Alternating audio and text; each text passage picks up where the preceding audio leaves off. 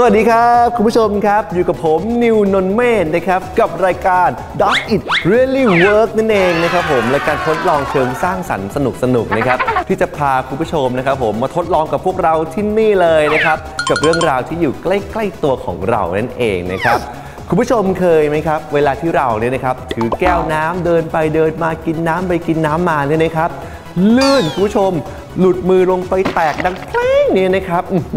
งานเข้าแล้วคุณผู้ชมครับ เพราะว่าตอนเก็บเศษแก้วนี่นะฮะไอเศษชิ้นใหญ่ๆเนี่ยเราพอจะมองเห็นอยู่หยิบเอาไปทิ้งหยิบไปทิ้งได้อยู่นะครับแต่เศษที่เป็นเศษละเอียดละเอียดเล็ก ๆ เนี่ยนะครับโอ้โหคุณผู้ชม อันนี้หายากแล้วก็มองไม่ค่อยเห็นด้วยนะครับไอ้ครั้นจะเอามือของเราเนี่ยนะครับปาดตามพื้นไปเพื่อหาเนี่ยนะครับก็กลัวจะบาดมือใช่ไหมฮะแต่ถ้าเรานะครับจะทำมือไม่สนใจเอ้ยไม่เป็นไรสะอาดแล้วล่ะ เดินไปเดินมาก็กลัวจะตำเท้าอีกเหมือนกันนะครับ เพราะฉะนั้นนะครับวันนี้ปัญหานี้จะหมดไปแน่นอนนะครับ เพราะว่านิมนุนเมฆคนนี้นะครับมีวิธีดีครับในการ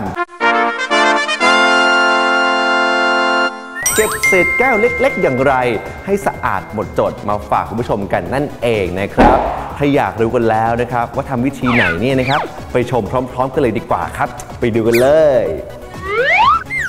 เอาล่ะคุณผู้ชมครับถึงเวลาของการทดลองกันอีกแล้วนะครับ แต่ก่อนอื่นนะฮะต้องแนะนำอุปกรณ์ก่อนดีกว่าสำหรับทดลองในวันนี้นะครับอย่างแรกก่อนเลยนะครับ ตรงกลางของผมนี่เลยนะครับ นี่คือเศษแก้วจริง ๆ เลยนะคุณผู้ชมครับที่มีการแตกเกิดขึ้นนะฮะแล้วแตกเป็นชิ้นเล็กชิ้นน้อยเป็นเศษละเอียดมากนะคุณผู้ชมครับนี่ขนาดพื้นโต๊ะเป็นสีดำนะครับ ยังมองบางชิ้นเนี่ยแทบจะไม่เห็นเลยนะฮะแล้วลองนึกดูนะครับเป็นพื้นที่บ้านเรานะครับ พื้นกระเบื้องสีขาวเนี่ยนะครับถ้ามันแตกมาชิ้นเล็กแค่นี้เนี่ยจะมองเห็นได้ยังไงคุณผู้ชมครับ ใช่ไหม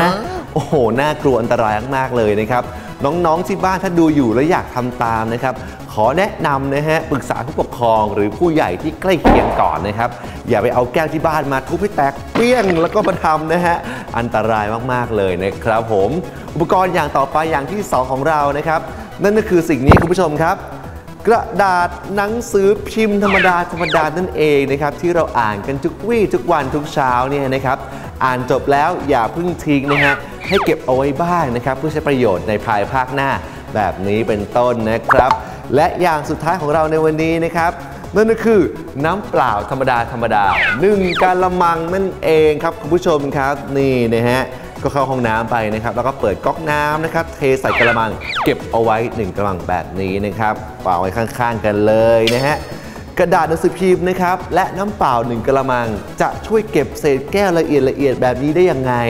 ถ้าอยากรู้กันแล้วนะครับ มาเริ่มต้นกันเลยดีกว่าครับ ขั้นตอนแรกเลยละกันนะครับ เริ่มต้นนะครับด้วยการหยิบกระดาษซื้อพิมพ์มานะครับ ผมประมาณ 2 แผ่นด้วยกันนะครับ แบบนี้นะฮะหยิบขึ้นมาเลยคุณผู้ชมครับ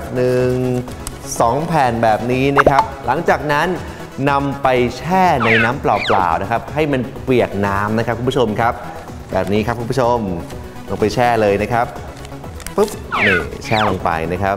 แบบนี้นะฮะอ่าให้เปียกนะครับทั้งสองด้านเลยนะครับคุณผู้ชมครับ นี่นะครับแบบนี้ ผู้ชมเรียบร้อยแล้วนะครับหนังสือพิมพ์แบบเปียกน้ำของเรานะครับ จากนั้นนะครับผมให้เรานะครับนำกระดาษหนังสือพิมพ์เนี่ยนะครับผมที่เปียกน้ำแล้วเนี่ยนะฮะมาวางลงครับบริเวณที่แก้วของเราเนี่ยมีการแตกเกิดขึ้นนะครับ แบบนี้ครับวางปั๊บลงไปอย่างนี้นะครับ หลังจากนั้นนะครับเอามือของเรานี่แหละนะครับ ค่อยๆกดนะฮะลงไปที่บริเวณกระดาษสื่อพิมพ์นะครับต้องขอบอกนะฮะค่อยๆ กดอย่ากดแรงนะครับไม่ฉะนั้นเนี่ยอาจจะโดนแก้วบาดมือได้นะครับ อ่าคุณผู้ชมค่อยๆ กดลงไปนะครับ นี่กดเบาๆลงไปนะครับ แนะนำนะครับกระดาษสื่อพิมพ์ที่ใช้นะครับ ถ้าเกิดว่ามันบางมากเกินไปนะครับให้ทำการพับสักนิดหนึ่งให้มีความหนาขึ้นมาหน่อยหนึง เพื่อป้องกันนะครับ ไม่ให้มือของเราเนี่ยโดนเศษแก้วที่มองไม่เห็นเนี่ยมันบาดเอาได้นะครับ โอเคคุณผู้ชมครับนี่นะครับค่อยๆ กดลงไปนะครับ พอเสร็จแล้วเนี่ยนะครับ ผมให้เราเนี่ยหยิบกระดาษสื่อพิมพ์อันนี้นะครับขึ้นมาคุณผู้ชมครับ ค่อยๆ หยิบขึ้นมานะครับ แบบนี้ครับปุ๊บนี่สังเกตดูนะฮะว่าเศษแก้วนี่นะครับ มันจะติดอยู่นะครับบริเวณกระดาษสื่อพิมพ์นี่อย่างนี้คุณผู้ชมปึ๊บนะฮะจากนั้นพับคุณผู้ชมครับทำการพับครึ่งนะฮะค่อยๆ พับเบาๆนะครับ พับไปนะครับให้เรียบร้อยแบบนี้นะครับปุ๊บปุ๊บแล้วนำไปทิ้งขยะใให้สะอาดนั่นเองที่เรียบร้อยนะครับ ทิ้งไปเลย แบบนี้ครับปุ๊บ อ่าเสร็จแล้วนะครับจะพบว่าเศษแก้วเนี่ยยังเหลืออยู่นิดนึงแต่หายไปนี่นะครับ หายไปเกินครึ่งแล้วคุณผู้ชมครับผมอ่าหยิบมาอีก 2 แผ่นเลยนะครับ แบบนี้ครับหยิบมาเลยนะครับปุ๊บปุ๊บสองแผ่นทำขั้นตอนเดิมซ้ำไปเลยนะครับ ประมาณสัก 2-3 รอบด้วยกันคุณผู้ชมครับจนกว่าจะหมดทั้งพื้นที่นะครับอึ๊บอ่าโอเค กดเสร็จแล้วนะครับ ก็ทำการดึงกระดาษพิมพ์ขึ้นมาครับคุณผู้ชม แล้วก็พับไปนะครับ พับไป พับให้ให้ปลอดภัยนะครับ แล้วนำไปทิ้งนะครับให้เรียบร้อยแบบนี้นะครับ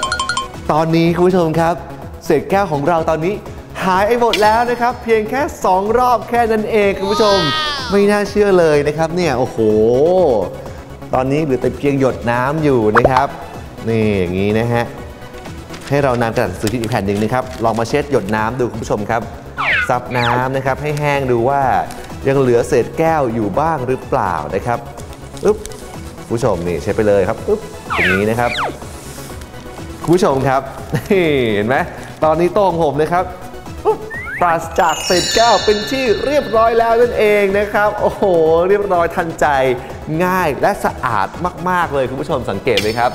สรุปเลยแล้วกันนะครับคุณผู้ชมครับว่าวิธีการเก็บเศษแก้วที่แตกนะฮะเป็นชิ้นเล็กชิ้นน้อยตามพื้นของเราเนี่ยนะครับ ทำได้ไม่ยากเลยนะครับด้วยการนำเอาหนึ่งกระดาษหนังสือพิมพ์นะครับขึ้นมานะครับ ผมประมาณสัก 2 แผ่นด้วยกันนะครับ ลงไปแช่ในน้ำเปล่านะครับ ให้เปียกทั้ง 2 ด้านเลยนะครับ จากนั้นนำออกมาคลี่นะครับแล้วผมแล้วก็วางลงไปบริเวณที่มีแก้วแตกด้วยกันนะครับ แล้วใช้มือของเรานะครับ ค่อยๆกดเบาๆนะครับ ลงไปบริเวณกระดาษหนังสือพิมพ์นะครับซับลงไปตามพื้นนะครับ ผมแล้วบิดขึ้นมาเก็บขึ้นมานะครับนำไปทิ้งขยะนะครับ ทำแบบนี้สักประมาณ 2-3 รอบด้วยกันนะครับ ไอเศษแก้วที่มันแตกเป็นเศษเล็กเศษน้อยอยู่นะครับ ก็จะค่อยๆหายไปหายไปนะครับ จนพื้นของเราเนี่ยสะอาดในที่สุดนั่นเองครับคุณผู้ชม คุณผู้ชมทราบไหมครับว่าเพราะอะไรนะครับเพียงแค่เราเนี่ยนำเอากระดาษสือพิมพ์นะครับผมมาชุบน้ำนะครับแล้วไปวางเอาไว้บริเวณที่แก้วของเราแตกนะครับจากนั้นเอามือของเราเนี่ยนะครับกดลงไปเพียงเบาๆพอนะครับแล้วยกขึ้นมานะครับจะพบได้เลยว่าเศษแก้วเล็กๆที่มันแตกอยู่เนี่ยนะครับจะติดขึ้นมากับกระดาษสือพิมพ์ของเราด้วยนะครับ นั่นก็เพราะว่ากระดาษสือพิมพ์เนี่ยนะครับเมื่อมันเปียกน้ำแล้วเนี่ยนะครับมันจะมีคุณสมบัติในการดูดซับสิ่งเล็กๆต่างๆเนี่ยได้เป็นอย่างดีเลยนะครับรวมถึงเศษแก้วที่แตกด้วยนั่นเองนะครับเพียงแค่นี้นะฮะง่ายมากๆเลยใช่ไหมล่ะครับคุณผู้ชมครับ และอีกอย่างหนึ่งนะฮะอยากฝากกันเอาไว้นะครับกับการทิ้งเศษแก้วที่เราเนี่ยเก็บขึ้นมาได้แล้วเนี่ยนะครับควรทิ้งให้ถูกวิธีนะครับซึ่งมีอยู่ 2 วิธีด้วยกันนะครับ วิธีแรกก็คือไปหากระป๋องเปล่าๆมานะครับแล้วรวบรวมเศษแก้วเนี่ยใส่ลงไปด้วยกัน จากนั้นปุ๊บปิดฝาแล้วค่อยนำไปทิ้งนะครับ หรืออีกวิธีหนึ่งนะครับนำเศษแก้วมาห่อด้วยกระดาษสือพิมพ์นะครับหลาย ๆ ชั้น หลาย ๆ ชั้นให้มันหนา ๆ เข้าไว้นะครับ แล้วใส่ถุงกระดาษเอาไว้นะฮะแล้วมัดปากถุงให้แน่นหนาเลยนะครับอ่าเพราะอะไรเพราะอย่างนี้ครับหากคุณผู้ชมนะครับผมทิ้งเศษแก้วที่แตกเนี่ยนะฮะในถุงพลาสติกธรรมดาธรรมดานะครับหรือถุงกระดาษธรรมดาธรรมดา โดยไม่ห่ออะไรเลยเนี่ยนะครับมันมีความเสี่ยงสูงมากคุณผู้ชมครับ ที่คนทิ้งขยะเนี่ยเช่น พนักงานทิ้งขยะก็ดีนะฮะแม่บ้านพี่น้องเราก็ดีนะครับที่เป็นคนเอาไปทิ้งเนี่ยนะครับ จะเผลอแล้วก็ไม่รู้นะครับ โดนแก้วบาดเอาได้ง่ายๆนั่นเองนะครับ เพราะฉะนั้นปลอดภัยไว้ก่อนดีที่สุดนั่นเองครับ และนี่ก็คือวิธีการเก็บเศษแก้วแบบง่ายๆนะครับ ผมลองทำกันดูที่บ้านแล้วกันนะครับ รับรองว่าได้ผลแน่นอนเลยนะครับ คุณผู้ชมครับ แต่ตอนนี้นะฮะเวลาของผมนะครับก็หมดลงอีกแล้วนะครับ กลับมาเจอกับผมนิวนนท์เมฆคนนี้ได้ใหม่นะครับที่นี่เลยกับรายการ Does It Really Work นั่นเองนะครับหรือคุณจะสามารถรับชมสาระของรายการเราเนี่ยเพิ่มเติมได้อีกมากมายเลยนะครับที่ www.mthai.com live school นั่นเองนะครับส่วนครั้งต่อไปจะมีเรื่องราวมาฝากกันอีกนะครับ ต้องรอชมพร้อมๆกันแล้วกัน แต่ในวันนี้เนี่ยนิวขอตัวลาไปก่อนแล้วนะครับ สวัสดีครับ